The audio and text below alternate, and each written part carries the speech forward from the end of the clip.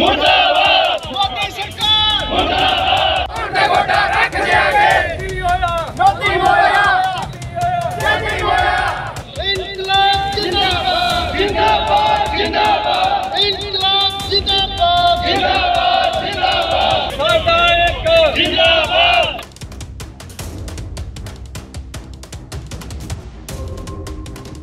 ਤਸਵੀਰਾਂ ਫਾਜ਼ਿਲਕਾ ਦੀਆਂ ਨੇ। ਜਿੱਥੇ ਕਿਸਾਨਾਂ ਵੱਲੋਂ ਭਾਜਪਾ ਆਗੂ ਸੁਰਜੀਤ ਕੁਮਾਰ ਜਿਆਣੀ ਦਾ ਵਿਰੋਧ ਕੀਤਾ ਗਿਆ। ਇਸ ਦੌਰਾਨ ਕਿਸਾਨਾਂ ਵੱਲੋਂ ਜ਼ੋਰਦਾਰ ਤਰੀਕੇ ਨਾਲ ਨਾਅਰੇਬਾਜ਼ੀ ਕੀਤੀ ਗਈ। ਕਿਸਾਨਾਂ ਨੇ ਭਾਜਪਾ ਆਗੂ ਤੇ ਨਿਸ਼ਾਨੇ ਸਾਧੇ ਨੇ। ਸਾਡੇ ਨਾਲ ਰੀਸ਼ ਨੱਡਾ ਜੀ ਮੌਜੂਦ ਨੇ।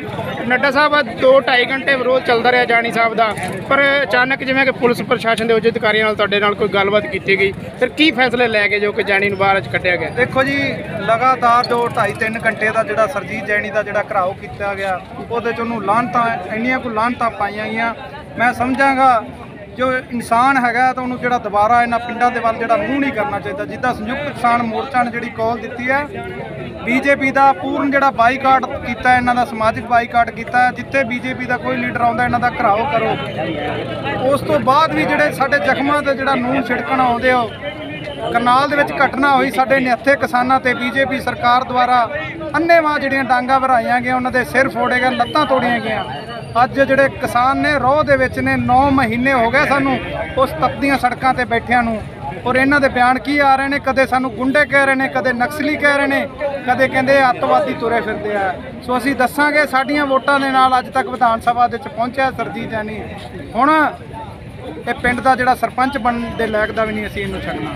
ਇਹ ਉੱਚ ਅਧਿਕਾਰੀਆਂ ਨਾਲ ਕੀ ਗੱਲਬਾਤ ਫਿਰ ਕੀਤੀ? ਕਿ ਕੀ ਫੈਸਲਾ ਲਿਆ ਗਿਆ? ਪੁਲਿਸ ਪ੍ਰਸ਼ਾਸਨ ਨੇ ਆਹੀ ਗੱਲ ਕਹੀ ਹੈ ਕਿਉਂਕਿ ਮੋਰਚੇ ਦਾ ਵੀ ਆਹੀ ਹੁਕਮ ਹੈ ਵੀ ਤੁਸੀਂ ਪੀਸਫੁਲੀ ਜਿਹੜਾ ਪ੍ਰੋਟੈਸਟ ਕਰਨਾ ਹੈ। ਸੋ ਉੱਚ ਅਧਿਕਾਰੀਆਂ ਨੇ ਵੀ ਆਹੀ ਗੱਲ ਕਹੀ ਹੈ ਵੀ ਤੁਸੀਂ ਕਿਸੇ ਵਿਰੋਧ ਤੁਹਾਡਾ ਰਾਈਟ ਹੈ ਸੰਵਿਧਾਨ ਨੇ ਜਿਹੜਾ ਤੁਹਾਨੂੰ ਰਾਈਟ ਦਿੱਤਾ ਪਰ ਕੋਈ ਕਿਸੇ ਤਰ੍ਹਾਂ ਦਾ ਕੋਈ ਵਾਇਲੈਂਸ ਨਹੀਂ ਹੋਣਾ ਚਾਹੀਦਾ ਤੋੜ-ਫੋੜ ਨਹੀਂ ਹੋਣੀ ਚਾਹੀਦੀ। ਸੋ ਅਸੀਂ ਪ੍ਰਸ਼ਾਸਨ ਨੂੰ ਜਿਹੜਾ ਪੂਰਾ ਵਿਸ਼ਵਾਸ ਦਵਾਇਆ ਵੀ ਅਸੀਂ ਬੀਕੇ ਡਕੌਂਦਾ ਦੇ ਜਿੰਨੇ ਵੀ ਮੈਂਬਰ ਆ ਅਸੀਂ ਜਥੇਬੰਦ ਲੋਕ ਆ ਡਿਸਪਲਿਨ 'ਚ ਰਹਿਣ ਵਾਲੇ ਲੋਕ ਆ ਅਸੀਂ ਕਿਸੇ ਤਰ੍ਹਾਂ ਦਾ ਇਸ ਤਰ੍ਹਾਂ ਦਾ ਇਨਸੀਡੈਂਟ ਨਹੀਂ ਕਰਾਂਗੇ ਜਿਹਦੇ ਨਾਲ ਮੋਰਚੇ ਦੀ ਬਦਨਾਮੀ ਹੋਵੇ ਜਿਹਦੇ ਨਾਲ ਜਥੇਬੰਦੀ ਦੀ ਬਦਨਾਮੀ ਜਿਵੇਂ ਕਿ ਵਾਰ-ਵਾਰ ਸਰਜੀਤ ਕੁਮਾਰ ਜਾਣੀ ਵੱਲੋਂ ਪ੍ਰੈਸ ਕਾਨਫਰੰਸ ਦੇ ਵਿੱਚ ਕਿਹਾ ਜਾਂਦਾ ਕਿ ਕਿਸਾਨ ਡਿਬੇਟ ਕਰਨ ਤੇ ਤੁਹਾਡੇ ਵੱਲੋਂ ਕੁਝ ਕੋਈ ਆਫਰ ਨਹੀਂ ਕੀਤਾ ਗਿਆ? ਦੇਖੋ ਜੀ ਡਿਬੇਟ ਕਰਨ? ਸਰਜੀਤ ਜੈਣੀ ਜਿਹੜਾ ਝੂਠ ਦਾ ਜਿਹੜਾ ਪਲੰਦਾ ਉਹ ਸਰਜੀਤ ਜੈਣੀ ਹੈ। ਸਰਜੀਤ ਜੈਣੀ ਨੂੰ ਪੰਜ ਵਾਰ ਜਿਹੜਾ ਲੈਟਰ ਅਸੀਂ ਲਿਖ ਚੁੱਕੇ ਹਾਂ 10 ਵਾਰ ਮੈਂ ਖੁਦ ਜਿਹੜਾ ਉਹਨੂੰ ਫੋਨ ਲਾਇਆ ਵੀ ਸਰਜੀਤ ਜੈਣੀ, ਤੁਸੀਂ ਜਿਹੜਾ ਸਾਨੂੰ ਸਮਾਂ ਦਿੱਤਾ ਸੀ ਵੀ ਅਸੀਂ ਜਿਹੜਾ ਤੁਹਾਡੇ ਨਾਲ ਡਿਬੇਟ ਕਰਦੇ ਹਾਂ। ਉਸ ਤੋਂ ਬਾਅਦ ਜਿਹੜਾ ਸਰਜ, ਅੱਜ ਇਸ ਗੱਲ ਨੂੰ 2.5 ਮਹੀਨੇ ਜਿਹੜੇ ਪੂਰੇ ਹੋ ਗਏ, ਅੱਜ ਤੱਕ ਸਰਜੀਤ ਜੈਣੀ ਦੀ ਜਿਹੜੀ ਬੈਕ ਕਾਲ ਨਹੀਂ ਆਈ ਵੀ ਆਓ ਸਾਡੇ ਨਾਲ ਬਹਿ ਕੇ ਡਿਬੇਟ ਕਰੋ। ਇਹ ਸਾਡੇ ਨਾਲ ਡਿਬੇਟ ਕੀ ਕਰਨਗੇ? ਅੱਟ ਫੇਲ ਬੰਦਾ ਹੈ।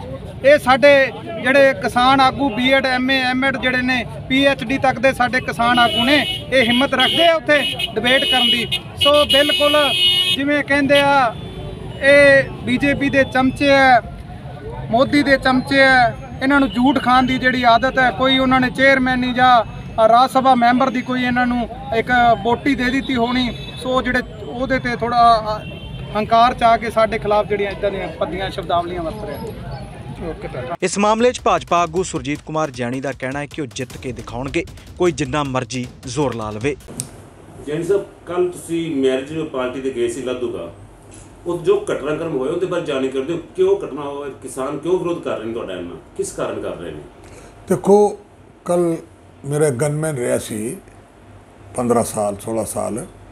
ਔਰ ਜਿਹੜਾ ਗਨਮੈਨ ਹੁੰਦਾ ਹੈ ਉਹ ਪਰਿਵਾਰਿਕ ਉਹਨਾਂ ਨਾਲ ਸੰਬੰਧ ਹੁੰਦੇ ਹੈ ਔਰ ਪਰਿਵਾਰਿਕ ਰਿਸ਼ਤੇ ਹੁੰਦੇ ਹੈ। ਉਹਦੇ ਬੇਟੇ ਦੀ ਸ਼ਾਦੀ ਸੀ ਤੇ ਉਹਨੇ ਘਰੇ ਆ ਕੇ ਤੇ ਕਹਿ ਕੇ ਗਿਆ ਸੀ, ਤੁਸੀਂ ਜ਼ਰੂਰ ਆਣਾ ਤਾਂ ਮੈਂ ਉੱਥੇ ਫਿਰ ਸ਼ਾਦੀ 'ਤੇ ਜਾਣਾ ਸੀਗਾ। ਸ਼ਾਦੀ ਜਦੋਂ ਗਏ, ਉੱਥੇ ਕੁਝ ਬੰਦੇ ਸੀ, ਉਹਨਾਂ ਨੇ ਗੱਲ ਕੀਤੀ, ਇਹ ਜਿਹੜੇ ਜਥੇਬੰਦੀਆਂ ਜਿਹੜੀ ਕਹਿ ਦਈਏ, ਕਿਸਾਨ ਦੀ ਆੜ ਦੇ ਵਿੱਚ, ਕਿਸਾਨਾਂ ਦੀ ਆੜ ਦੇ ਵਿੱਚ ਜਿਹੜੇ ਸ਼ਰਾਰਤੀ ਅਨਸਰ, ਕਦੇ ਕਿਸਾਨ ਇਹ ਜੀ ਗੱਲ ਨਹੀਂ ਕਰਦਾ, ਕਿਸਾਨ ਨੂੰ ਇੰਨੀ ਸ਼ਰਮ ਹੁੰਦੀ ਹੈ ਵੀ ਕਿਸੇ ਦਾ ਫੰਕਸ਼ਨ ਹੋਵੇ, ਕਿਸੇ ਦਾ ਵਿਆਹ ਹੋਵੇ, ਕਿਸੇ ਦੀ ਮਰਗ ਹੋਵੇ, ਇਹ ਜੀ ਗੱਲ ਤੇ ਨਹੀਂ ਹੁੰਦੀ।